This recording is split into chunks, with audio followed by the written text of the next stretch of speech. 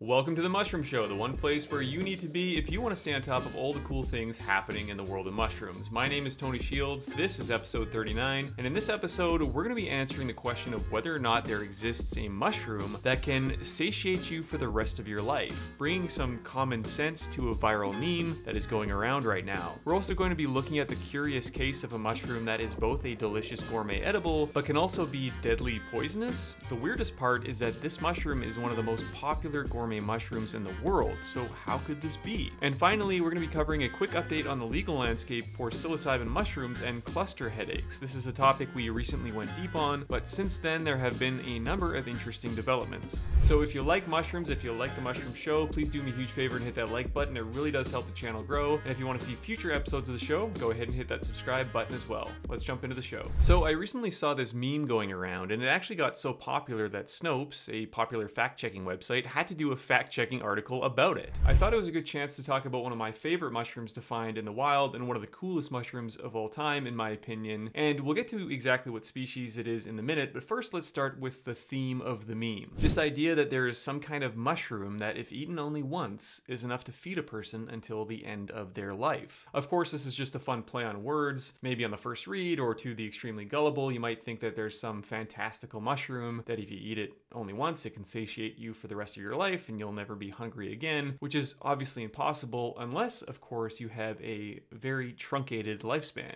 which is kind of the morbid joke here, right? If you eat a deadly poisonous mushroom, well, then sure, it can satiate you for the rest of your life. The truth is, there are some deadly poisonous mushrooms, but the really, really deadly ones, the really dangerous ones, are very few and far between. Of course, there are lots of mushrooms in the world, millions even, and the either really, really deadly or the really, really delicious sit at the very long tail of a spectrum. Most mushrooms in the world sit somewhere in the middle. They're not deadly poisonous, they're not really delicious, and they're not all that interesting to most people. But the funny thing to me about this meme is that the mushroom they show, although it looks super bright and unique and interesting, maybe looks like something that could unalive you, is not considered to be deadly poisonous at all. It's not even considered poisonous, it's just considered to be inedible. It's called Rhodotus palmatus, and anytime this one gets posted on social media, it gets a ton of attention because it does look really cool. It is rare for the most part, and even considered to be endangered for the most part, being added to so-called fungal red lists and considered to be threatened in 12 countries and illegal to pick in others. But where it does show up, it seems to be relatively common and seems to show up repeatedly. So I think this one, in my opinion, would be considered maybe regionally rare or regionally common, depending on where you're looking. There is a log near where I live that actually produces Rhodotus palmatus every single year for at least five years now. Every single time I go out and check the log in the early summer, it is growing on the very same log in the very same knot, which is super cool. Now, here are a few of the reasons why I think Rhodotus palmatus is so interesting and so unique. First of all, it just looks cool. It's also called the rosy vein cap or the wrinkled peach because it looks like kind of a wrinkled peach with these unique netted patterns on the cap of the mushroom. When it's pulled apart, it has a really weird texture, unlike any other mushroom. It's really rubbery and kind of feels like a weird ear. It's kind of hard to explain, but it's kind of a unique texture. It will often exude or bleed or sweat or whatever you want to call it, but it will quite often have a red-orange liquid that comes out of it as it's growing.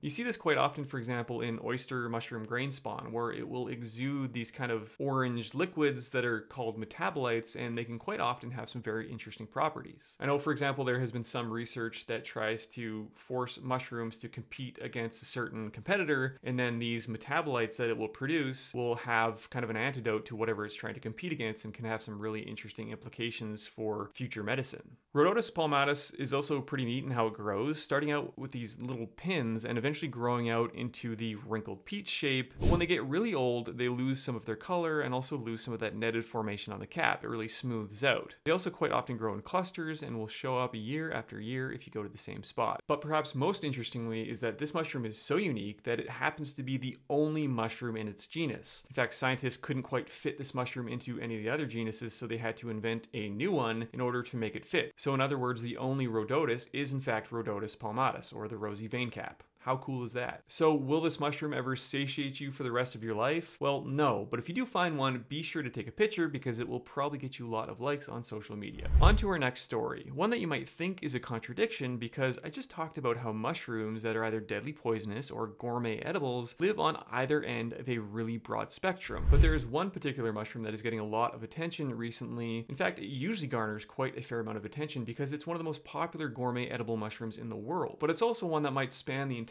spectrum of being a delicious gourmet edible or being deadly poisonous, depending on how it's prepared. Now, I should preface this by saying that most mushroom hunters or mushroom lovers already know this fact about this particular mushroom, but it does still kind of highlight how little we know about mushrooms in general. The mushroom I am talking about, believe it or not, is the morel. And no, not false morels, I'm talking about real, true morels. And I know what you might be thinking, like, what? The morel? Deadly poisonous? How could this be? I've seen it at restaurants, I've seen it in grocery stores. My local foraging club has people go out and search for this mushroom every single weekend in the spring. How could it be deadly. And I agree with you, at first glance, it does seem kind of crazy. I've eaten plenty of morels myself and have never had a problem. And it's hard to understand exactly how this could be. And although scientists admittedly don't really understand exactly how this could be the case either, it's thought to be related to compounds in the mushroom that are altered by heat, such that the edibility of the mushroom is determined by how it is prepared. Again, this is something that is not really news to mushroom lovers. But last year, this strange property of morels hit the mainstream news after a massive outbreak from Montana caused a total of 51 cases cases of severe illness, including three hospitalizations and tragically two deaths. This is the report from the CDC titled Outbreak Linked to Morel Mushroom Exposure, Montana 2023, which outlines the investigation and the findings. The outbreak stems from a single restaurant that was serving morel mushrooms in a sushi roll that was prepared in different ways. Sometimes the mushrooms were covered in a hot marinade before being served, so you can think of those as being like partially cooked, but other times the mushrooms were prepared in a cold marinade before being served, so those were obviously uncooked, and that is what the CDC thought is most likely to be the source of this disaster, because there was a strong correlation between people who ate this raw morel sushi and people who got severely ill. The symptoms usually started about 60 minutes after consumption and were also dose dependent, with the people who consumed more tending to get more ill. Now, again, to be clear, most everyone who is into mushrooms, specifically morels, won't be surprised by this at all. It has been common knowledge for a long, long time that morels need to be cooked, but I guess it's still surprising that the effects were bad enough to be deadly because that is very unusual, and that was highlighted in the CDC report that stated the two patients who died had chronic underlying medical conditions that might have affected their ability to tolerate the massive fluid loss. But the question still remains what exactly is the cause for this? Is there some compound or something else in morels that is either killed or denatured through the heating process? Is it possible that the mushrooms could have been contaminated in other ways? Well, unfortunately, this question is still not fully answered. There was, of course, the possibility that this was just a case of misidentification, because morels are quite often wild harvested, so maybe the harvesters were out there in the woods picking morels and they accidentally threw a couple of death caps in there. But the truth is, morels are very easy to identify. You're not going to misidentify them for a death cap, so this is very unlikely. And these particular morels were actually a cultivated variety, which makes this possibility even more remote. These mushrooms that caused the illness were indeed true morels. This was shown through DNA sequencing, the exact species being Morchella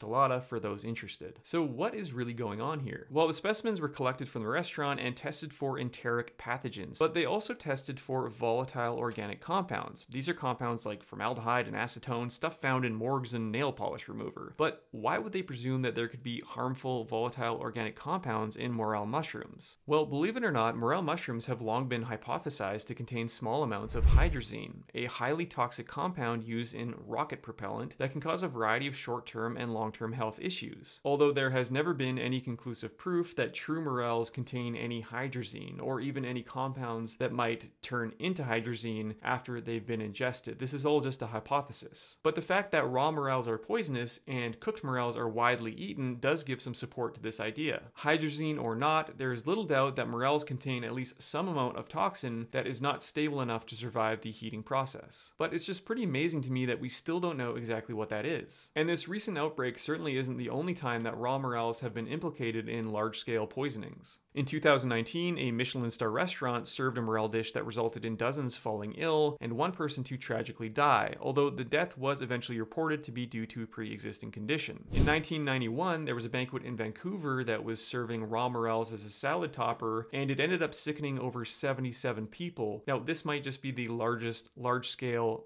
mushroom poisoning in history, although happily no deaths were reported. But all of these events, again, were the result of raw or undercooked morels. Morels need to be cooked thoroughly. Even the CDC, in response to this latest outbreak, published some information on proper preparation methods for morels. But even so, hedging by saying properly preparing and cooking morel mushrooms can reduce the risk of illness. However, there's no guarantee or safety even if cooking steps are taken prior to consumption. In my opinion, and I'm sure this is shared by lots of other mycophiles, I think all mushrooms should be cooked. It just makes sense. Plus, they taste way better that way anyways. And although all of this might seem a little scary, like, wait, I'm supposed to eat something that's poisonous unless it's cooked? Cooked? Like, no way. But we do this all the time. Like, for example, nobody eats raw chicken sushi, but if you cook the chicken, well, it's perfectly fine. It's not exactly the same, obviously, because with chicken, you're not worried about something that's inherently in the chicken. You're worried about some kind of contamination with uh, bacteria, like salmonella, for example. But it's still super interesting to me that the exact culprit for why morels may or may not be poisonous is still unknown. And we keep coming back to this idea, right? This theme that mushrooms are mysterious. We haven't figured out all of their secrets yet. Which brings me to a somewhat related mushroom, the so called false morel, also known as Gyromitra esculenta, that doesn't contain any hydrazine, but it does does contain gyromitrin, which inside of our bodies is hydrolyzed into monomethylhydrazine, which again is used as rocket propellant and is very poisonous and it can be deadly. But it seems like this risk can be removed by parboiling the mushrooms in a well-vented area, which seems like a lot of risk and a lot of work for a mushroom. But what makes this even more complicated is that the amount of gyromitrin, which again is this compound that can be hydrolyzed into monomethylhydrazine, can vary greatly depending on where the mushroom was harvested. And I'm sure it can also vary depending on what time of the year the mushroom was harvested or where exactly it was growing. But also there are a lot of closely related species that might look similar that might contain vastly different amounts of this gyromitrin, which is why some sources will list this mushroom as deadly poisonous, whereas in other places in the world it's sold as an edible mushroom. And to put some context to this, a 30-year toxicology report from the North American Mycological Society published in 2006 lists dozens of reported poisonings from Gyromitra species, some of them quite serious, and although the most recent report covering 2018 to 2020 doesn't list any human poisonings, it still states that though many people still eat Gyromitra esculenta, the large number of cases found in the past where there was liver and or kidney damage and many deaths in Europe hopefully may lead individuals to cease this practice, ending with hopefully mushroomers are learning not to eat Gyromitra esculenta. And I agree, I haven't eaten this mushroom and never would, no matter how it was prepared. I love mushrooms of course, but in my opinion it's it's better to stick to ones that are really well known and really good for you and not known to cause any issues. So, what are the lessons we can take away from this? Well, first of all, whether you love mushrooms or hate mushrooms, it's pretty hard to argue that mushrooms aren't incredibly interesting. There's still so much that we need to learn about them. And finally, it would be so cool to dedicate more resources to learning about mushrooms and studying mushrooms. Just imagine how much we could learn. This story really did make big headlines, but to people who are into mushrooms, it was not really new information, although hopefully still many people can learn from it.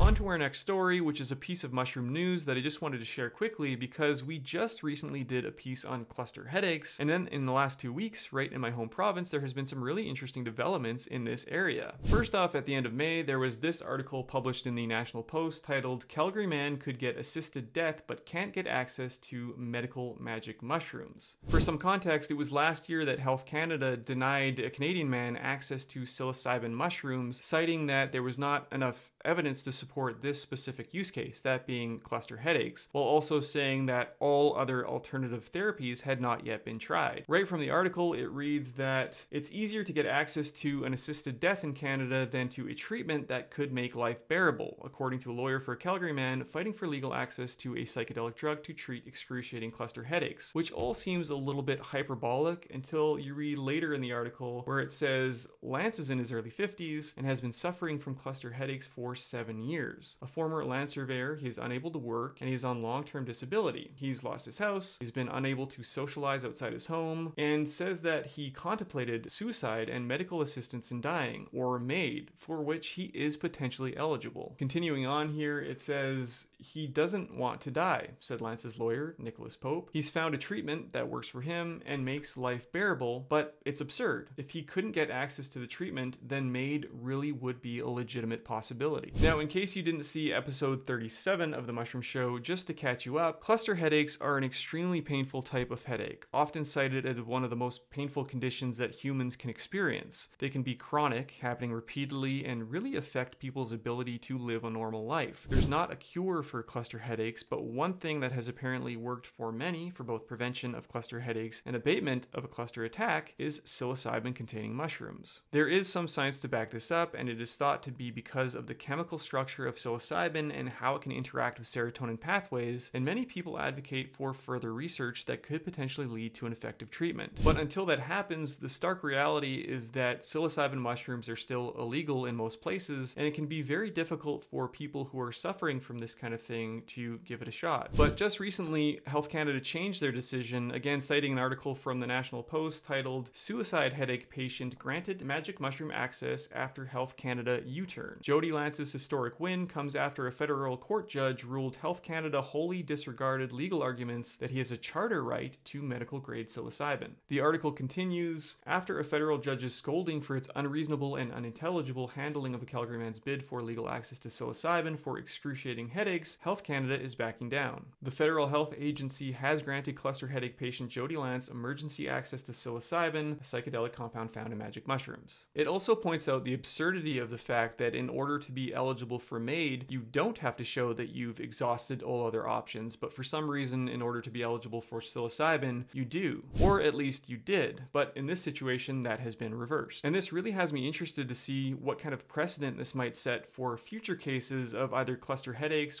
other ailments where there might be some potential benefit from psilocybin. And that's it for this episode of The Mushroom Show. Thank you so much for being here. Thank you so much for watching. Again, if you like mushrooms, if you like The Mushroom Show, please do go ahead and hit that like button. It really does help the channel grow. And if you want to see future episodes of the show, please go ahead and hit that subscribe button as well. We'll catch you in the next episode.